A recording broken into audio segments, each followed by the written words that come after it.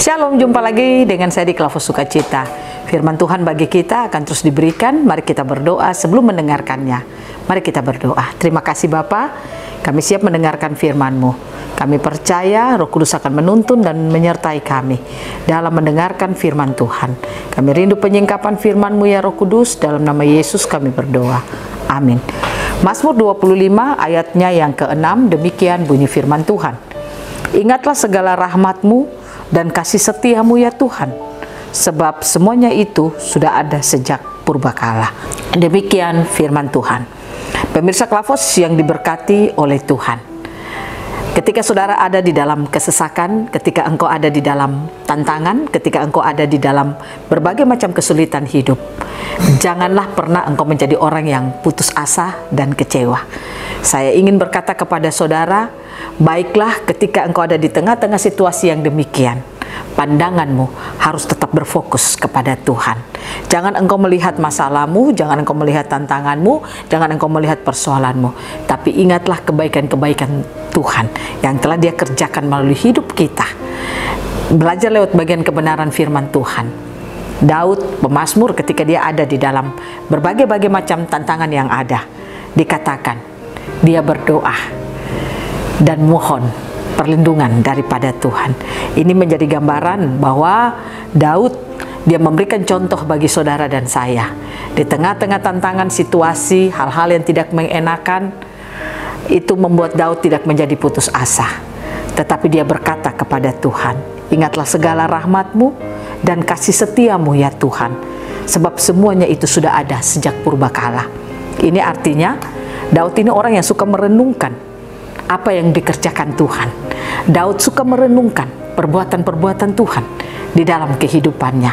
Sehingga dia ada masalah, dia tidak melihat masalahnya, tapi dia dapat merenungkan apa yang pernah Tuhan kerjakan di dalam kehidupannya.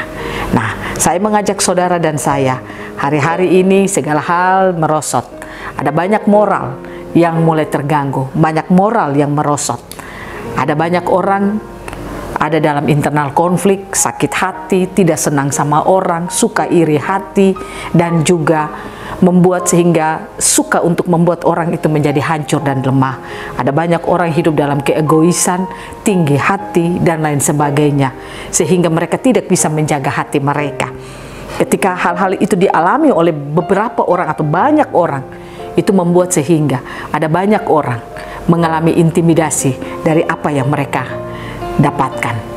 Nah, ketika seseorang berada di dalam intimidasi-intimidasi karena tekanan-tekanan dari orang-orang yang ada di sekitarnya, karena dia ditekan lewat kata-kata, lewat perbuatan dan lain sebagainya, membuat orang lalu menjadi putus asa dan katakan, "Tuhan, kenapa hidup saya tidak diserangi orang?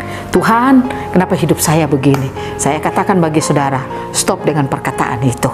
Yang harus saudara dan saya lakukan, renungkanlah perbuatan Tuhan atas hidup saudara. Ingat, Tuhan tidak pernah berpihak pada orang fasik, tapi dia selalu berpihak hanya pada orang benar. Baiklah kita tetap hidup dalam kebenaran firman Tuhan. Kalau Daud bisa merenungkan perbuatan Tuhan, dia bisa memperkatakan apa yang Tuhan kerjakan dalam hidupnya. Sehingga dia katakan, ingatlah segala rahmatmu dan kasih setiamu ya Tuhan, sebab semuanya itu sudah ada sejak purbakala. Artinya dia katakan bahwa dari sejak purbakala itu kebaikan Tuhan, rahmat Tuhan itu sudah ada. Nah oleh karena itu saudara dan saya tinggal mengaminkan saja apa kata firman Tuhan. Apa pun kondisimu saat ini, apa pun keadaanmu saat ini, jangan pernah engkau merenungkannya dalam hidupmu. Tapi renungkanlah apa yang telah Tuhan kerjakan dalam hidup saudara dan saya. Makanya firman Tuhan katakan, renungkanlah firman Tuhan siang dan malam dalam hidupmu. Jangan kau renungkan kata-kata orang. Jangan kau renungkan perbuatan orang. Jangan kau renungkan apa yang dilakukan orang terhadapmu. Atau jangan kau merenungkan keadaanmu yang susah tapi renungkanlah firman Tuhan siang dan malam dalam hidupmu. Itulah yang membawa kemenangan dalam hidupmu. Oleh karena itu pemirsa Klavos yang diberkati Tuhan, saya mengajak saudara di awal-awal bulan ini, baiklah kita hidup dalam kemenangan. Engkau tetap teguh di dalam Tuhan. Pertanyaannya, bagaimana agar kita bisa terus merenungkan firman Tuhan dalam hidup kita? Pastikan firman itu limpah dalam hidup saudara dan saya. Kalau engkau orang Kristen yang tidak suka mendengarkan firman, tidak mau dikoreksi firman, tidak mau dinasehati firman, kau dengar firman menyinggung kesalahanmu, engkau tersinggung, engkau marah, apa yang bisa engkau renungkan? Izinkanlah firman bekerja hebat dalam hidup saudara dan saya. Ketika kita mendengarkan firman, terima kasih Tuhan. Firman ini menyinggung saya, tapi saya percaya firman ini untuk saya. Saya percaya kalau saudara punya hati yang terus terbuka untuk firman, maka engkau akan mampu untuk merenungkan firman Tuhan dalam hidupmu. Yang kedua, belajarlah untuk membangun kesadaran saudara. Firman Tuhan ya dan amin dalam hidup saudara. Ketika engkau percaya bahwa firman Tuhan itu ya dan amin, firman Tuhan itu jawaban bagi saudara, maka saya percaya itu akan menjadi jalan keluar bagi setiap persoalan dan masalah yang saudara alami. Yang ketiga, yang harus saudara dan saya lakukan dalam hidup kita, izinkan Roh Kudus bekerja hebat dalam hidup kita. Ingat, Roh Kudus membawa saudara dan saya hanya untuk mengenal siapa Tuhan. Izinkan Roh Kudus bekerja terus dalam hidup kita. Bagaimana saudara mau tahu kalau Roh Kudus itu bekerja dalam hidup saudara? Ketika engkau terus memberi hidup mau hidup dalam kebenaran, melakukan kebenaran, maka saya katakan, Roh Kudus sementara menuntun hidup saudara. Roh Kudus membawa saudara untuk terus melihat Tuhan. Ada banyak orang Kristen dinasehati firman, tapi dia lebih memakai akal pikirannya. Dia pikir pikirannya itu lebih benar. Saya katakan bagi saudara, itu menjadi petaka bagi saudara. Karena pikiran manusia adalah pikiran kedagingan. Saudara harus memberikan Roh Kudus bekerja hebat dalam pikir, dalam hidupmu supaya apa? Pikiranmu itu tidak membawa hidup saudara atau pikiranmu itu tidak menuntun hidupmu, tetapi roh itu yang menuntun hidup saudara. Ini kalau saudara lakukan dalam hidup saudara, saya percaya saudara akan mengalami perjalanan kehidupan yang kemenangan.